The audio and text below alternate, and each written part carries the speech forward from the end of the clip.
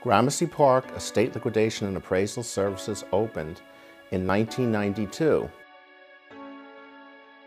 Gramercy Park Estate Liquidation and Appraisal Services Incorporated provide a vast array of liquidation services and appraisal services. We liquidate estates when people die or when people want to move.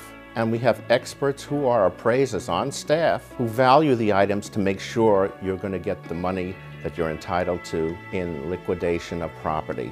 Another reason clients hire us is the fact that we're extremely thorough in what we do.